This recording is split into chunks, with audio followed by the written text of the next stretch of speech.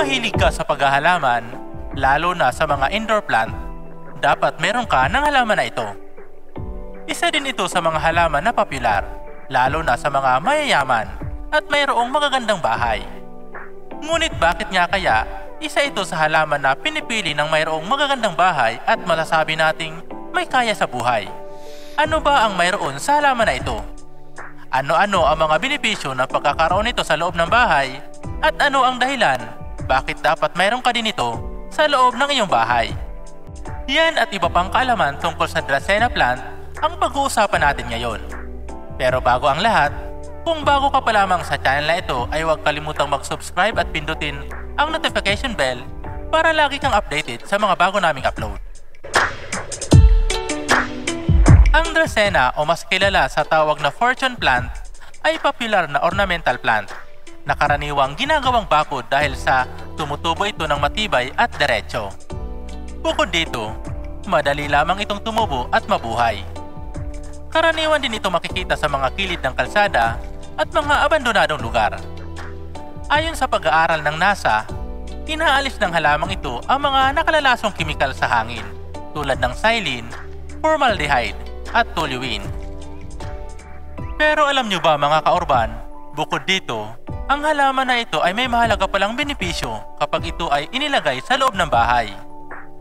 Narito ang mga benepisyo, kaalaman, at katotohanan kung bakit dapat mayroon tayo nito sa loob ng bahay. Ang Dracena plant ay ang pinakamahusay na halamang naglilinis ng hangin sa loob ng bahay. Ang mga volatile organic compound o VOCs at nakalalaso na gas at usok na dala ng hangin na pumapasok sa ating bahay ay nakakapinsala sa kalusugan ng tao. Karaniwan itong pinagmumula ng mga malulubhang sakit. Kaya naman, ang pagkakaroon ng mga halaman sa loob ng bahay katulad ng Dracena ay isa sa pinaka-epektibong paraan upang matanggal ang pollutant na mula sa hangin.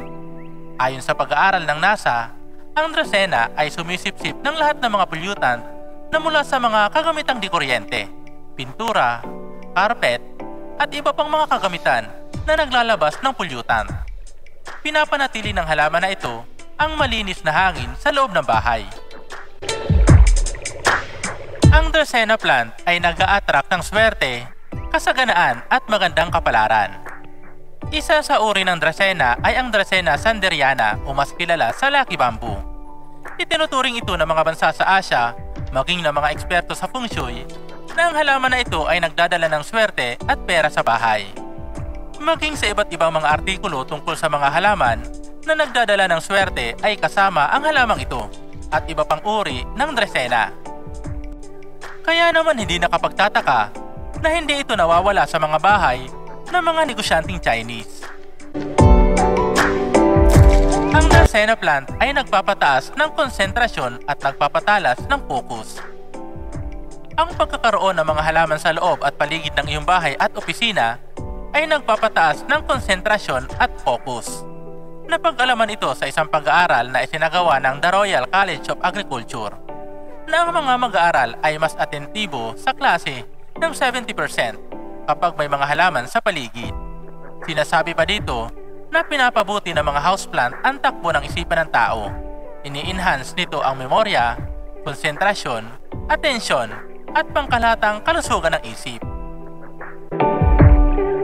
Nagpapataas ng humidity o kahalumigmigan sa loob ng bahay. Ang mga halaman sa loob ng bahay katulad ng Dracena ay nakakatulong upang magkaroon ng mahalumigmig na paligid. Ito ay nangyayari sa panahon na sila ay gumagawa ng pagkain sa prosesong tinatawag na photosynthesis. Sa prosesong ito, naglalabas sila ng halos 97% na kahalumigmigan sa loob ng bahay. Kaya naman, kung ang problema mo ay ang tuyong hangin, maglagay lamang ng Dracena sa loob ng bahay. May ibsan nito ang pagkatuyo ng hangin na ayon sa pag-aaral na isinagawa ng Agricultural University of Norway ay nagpapababa ng insidente ng pagkakaroon ng tuyong ubo, tuyong balat, sipon, at namamagang lalamunan ng mga manggagawa sa opisina. Ang Dracena plant ay isang mahusay na ornamental plant. Ang halamang Dracena ay isa sa paboritong halaman ng mga mahihilig sa halaman dahil sa maganda itong gawing pangdekorasyon. Ang mahaba at patulis na dahon ng Dracena ay nagbibigay ng kakaibang ganda at atraksyon sa lugar kung saan ito inilalagay. Ito ay karaniwang inilalagay sa sala, loob ng kwarto, at ang maliliit na uri naman ay inilalagay sa mesa. Napakaraming uri ng Dracena. Ilan sa mga ito ay ang Dracena marginata, Dracena draco, Dracena arborea, Dracena fragrans, and Dracena masangiana, Dracena reflexa, Dracena janet crake, at Dracena sanderiana. Ang Dracena plant ay madali lang alagaan. Ang halamang ito ay kayang mabuhay sa iba't ibang uri ng kondisyon. Maaari itong mabuhay sa loob ng bahay na hindi direktang nasisikatan ng araw at hindi nangangailangan ng palagiang pagdidilig ng tubig. Maaari lamang maglagay ng pataba dito ng tatlong beses sa loob ng isang taon. Ayon sa kasabihan ng mga Chinese, kapag nakapagpabulaklakan ng Dracena, ito ay tanda ng kasaganaan, sinyalis na may paparating na biyaya at swerte. Ang Dracena ay isa sa halamang maraming pakinabang.